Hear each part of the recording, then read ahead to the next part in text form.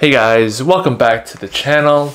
And we finally have our haul for DCBS June 2024. I am so excited. For some reason, this has been in transit for more than a week. It came pretty close to me and then it got sent backwards in transit and then came back this way. I'm not sure what happened there. FedEx, what's going on? We need our comics. But I'm excited that it's finally here and it feels like a hefty box. Let's find out what's in here and open it up.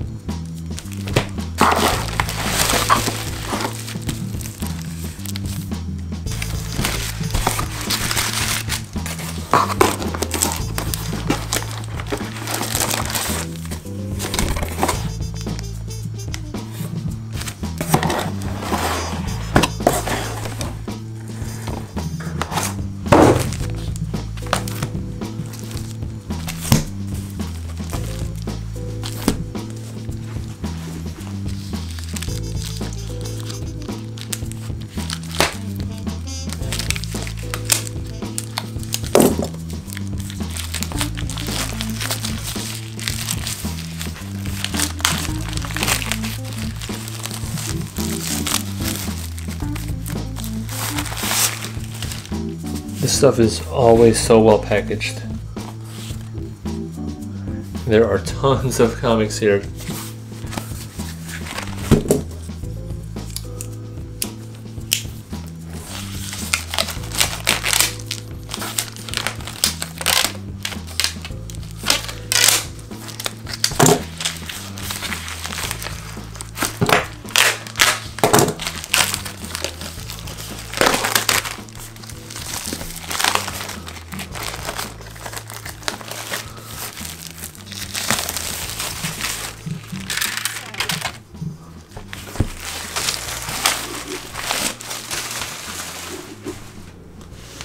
First one you guys already saw. Looks like we have The Last Ronin 2 Re-Evolution. And this one, I did double dip on this one. I got both covers. Let's take a look at what we got here on that other cover.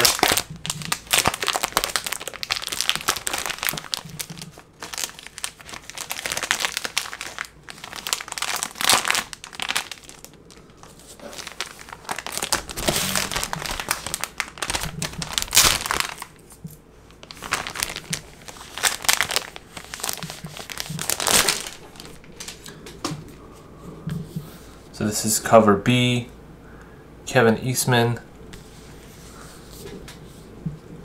And this is cover A.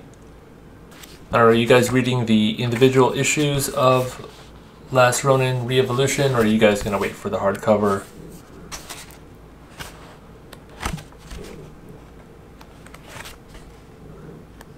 This one, I'm probably gonna start reading this one this weekend been catching up on a lot of my reading the last week. You can see there's my reading pile right over there. Just finished the stack about the same size last night. Let's take a look at this first stack here of comics, see what we got. First up, we got Void Rivals number 9. Got a Transformer on the cover. That's really interesting. I love the artwork on this and the space setting.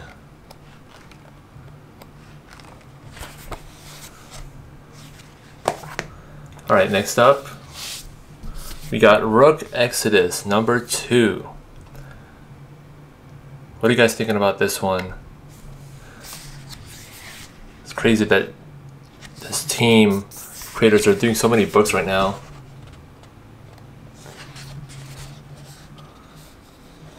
That's pretty badass right there.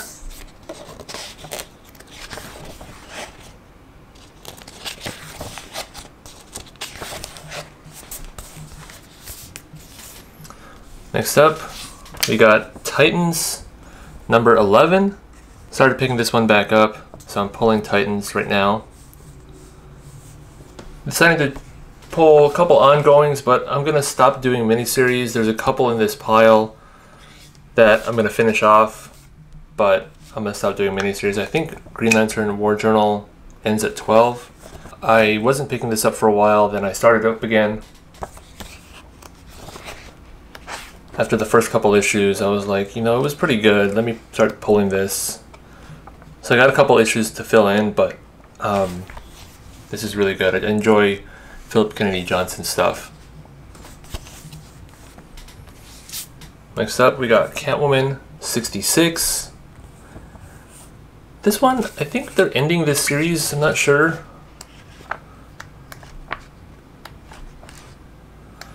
But it'd be interesting to see, are they going to continue doing Catwoman? Or are they just going to stop her title for a while? Or, or maybe I'm wrong, I don't know. But that's Catwoman number, sorry, 65. I thought it was 66. 65.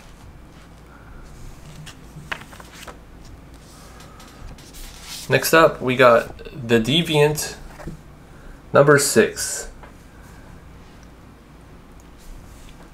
Been getting this because it's James Tynion and wife likes James Tynion, and I don't know, I think in the future I'm gonna only get stuff in like trades or hardcovers when it's miniseries or things that aren't like permanently ongoing. Then we got Sinister Sons, number five.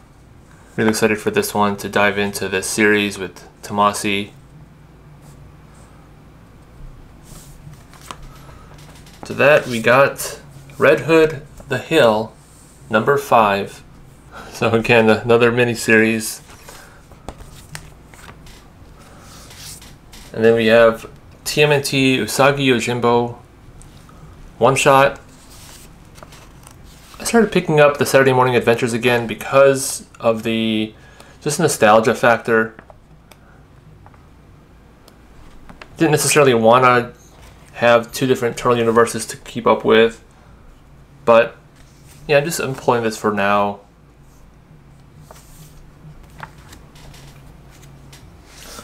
Then we got Wonder Woman number 10.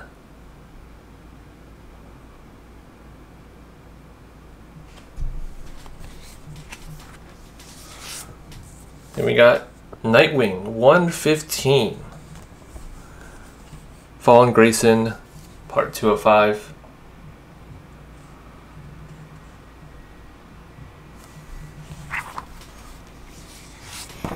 Then we got Titans number 12. So we got multiple issues of the same title here because I think that they shipped this a little more than a month after the last shipment. So basically they just gather everything that they've added to my list and ship it with the next shipment. Same thing here, we got Nightwing 114, Fallen Grayson Part 1. Yeah, that's really dope right there. Interesting to see what that's about. And Wonder Woman number 9. And that's a really cool cover right there.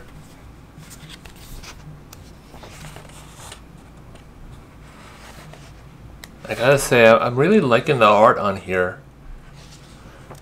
Sampere.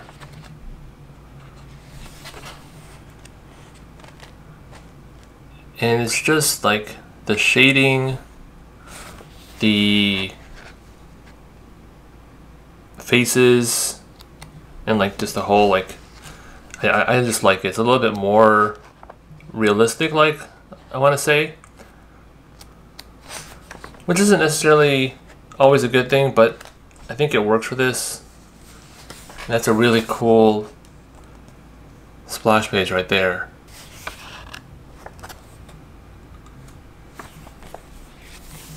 Man's Best number three.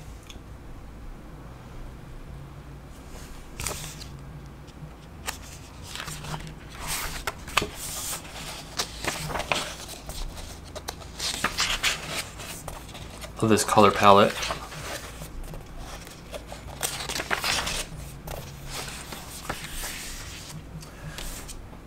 Saturday Morning Adventures, number 13. This one's cool because they got different turtles from different universes in here.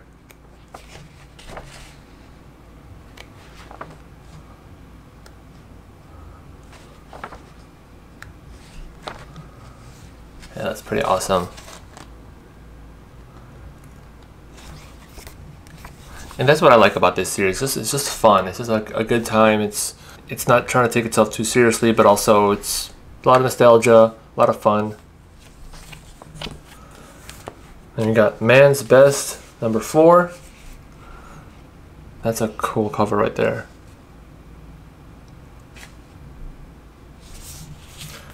TMNT, The Untold Destiny of the Foot Clan, number four. A dope cover. TMNT Black, White, and Green, number two. I wasn't sure if I was going to continue pulling this because I found out it was only like four issues long. And I don't think any of the stories are connected. They're all just basically one-shot stories. And I really only liked one, maybe two of the stories in the first one. So it'd be good to pick up like in trade or hardcover, but I don't know, I shouldn't have started picking this up. But now I'm just like, I'm halfway there already. So I think I already uh, ordered the third one as well.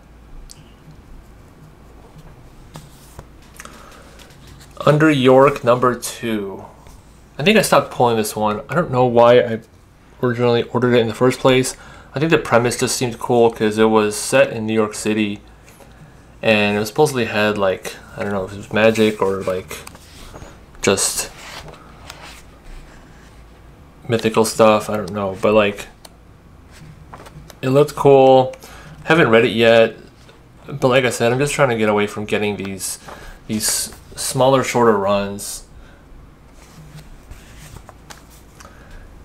Then here's Catwoman number 66. Nine Lives Part 8. A dope David Nakayama cover.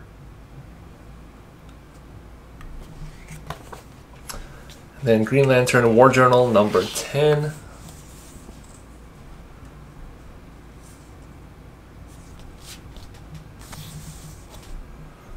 Alright, so that's the first pile. Let's take a look at the second one.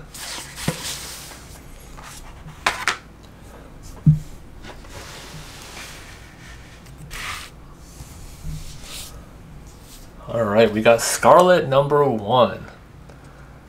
That's pretty dope. I think they came out with this a couple weeks ago. I'm just kind of behind because I only get these DCBS orders monthly.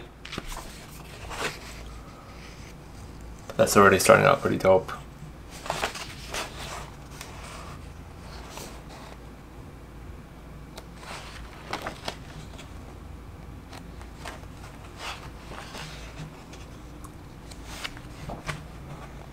Really excited to dive into this one.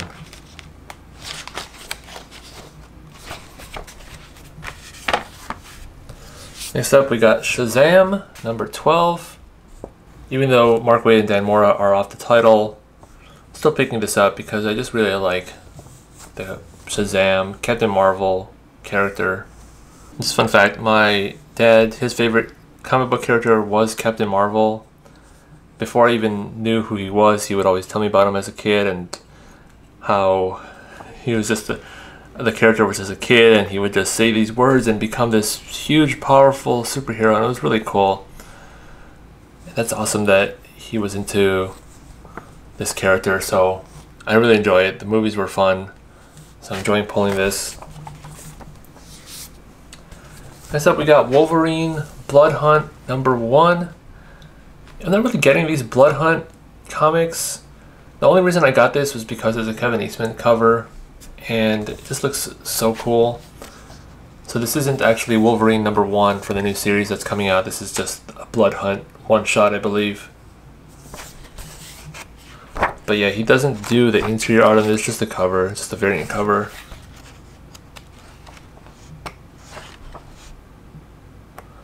Not sure I'm digging the interior art on this though.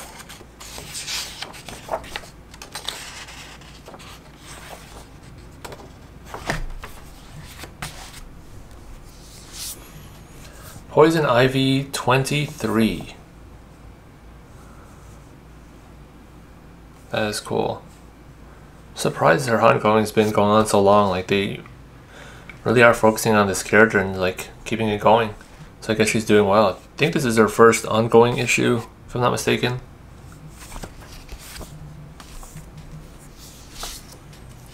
TMNT Alpha number one. This one is definitely a double dip. I think I ordered it from DCBS because I wasn't sure if my LCS was going to pull it. And when they did, I was like, you know, let me just grab it. You know, it's it's a good issue to have a couple copies of. Next up, we got TMNT Sourcebook number three. Now this one, these are really cool. I just love these types of things. This is just like a lot of good information. These are the types of things I just love flipping through randomly, just learning about the characters, learning about the universe.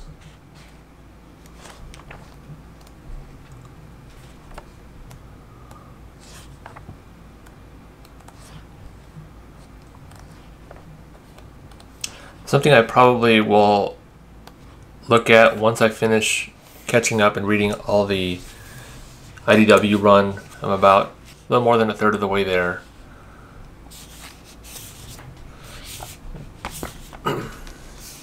Next up, we got Geiger number three. After that, we got Transformers number nine. Let me know what do you guys think. Which universe are you more like excited about or just enjoy reading more? The Energon universe or the Ghost Machine universe? Like which one's really better are they just different? For me, I'm really enjoying the Energon universe a whole lot, especially like the Void Rivals and the Transformers series. They're just really well done in my opinion, and like just easy reads, um, interesting, and surprising at the same time.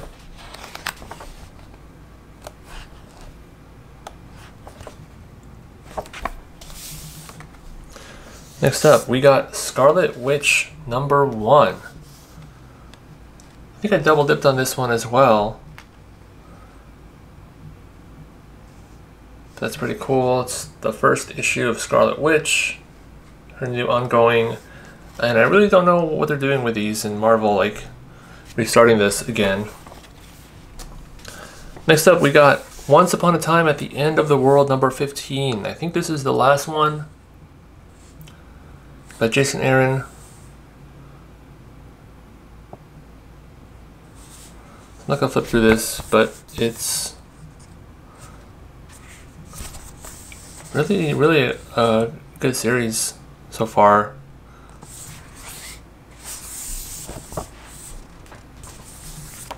World Tree number 10. And like, what the heck? Oh man, look at that. What happened there? It's weird. Yeah, that's that's not good. That's why I get issues, individual issues, because I want it to be in good shape. So I might have to mention that to them.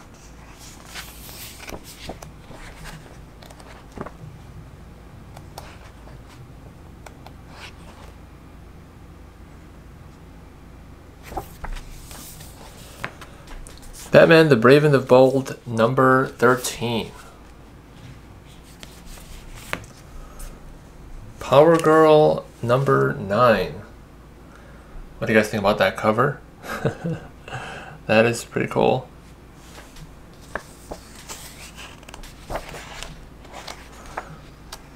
And all these comics are tying into House of Brainiac and then Absolute Power. I am not getting Absolute Power. I'm not pulling it. I'm not pre-ordering it. But I don't know. Maybe I might regret that because it is done by Mark Waid and I really enjoy his stuff. But um, I don't know, I just don't want to get into the summer events like I was in the last few years and just get all these issues that I'm just really not interested in, but they're tying it into all these titles that I'm pulling. Anyway, that's Penguin number 10. And I don't want to miss out, but I do have DC app, so maybe I'll just read them in there first. And if I decide I like it, maybe I'll get the hardcover whenever they come out with it. Or maybe I'll go back and get some of the individual issues and try to hunt them down for a discount afterwards.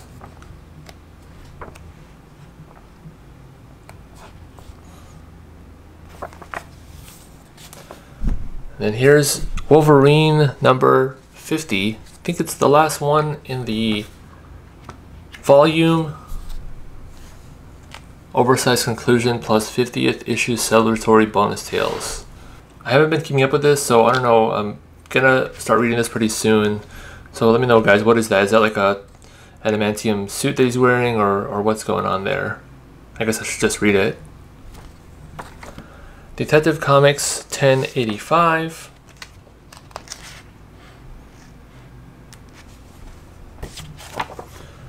Knights number 7.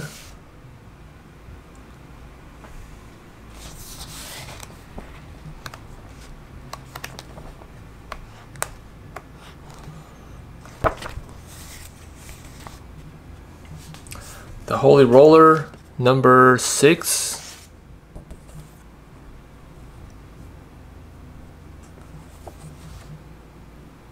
And last but not least, we got Feral number three.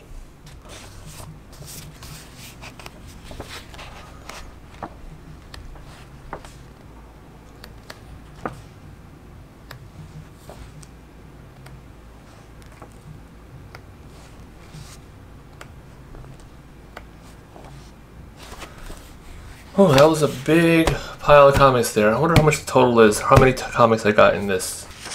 Wow, that is crazy. We got 44 issues, $131. Not too bad since a lot of them were on discount.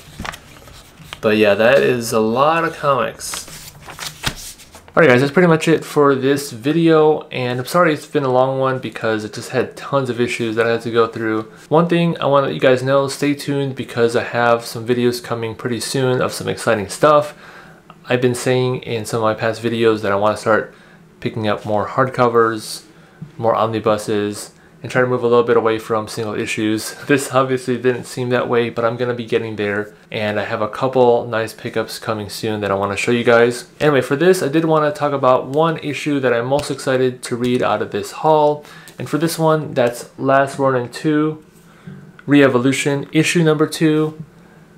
And I actually haven't read issue number 1 yet, I'm really behind on this, but I'm just really excited to dive in and find out more about these new turtles. I like stuff that's kind of set in the future and sort of like an alternate um, possibility. So just the Last Ronin overall, just been loving this series from the beginning. So that's pretty much it for this video. If you guys are interested in more comic hauls, new comic book days, reviews, all sorts of comic book things, go ahead and subscribe to this channel. Catch you guys in the next one. Peace.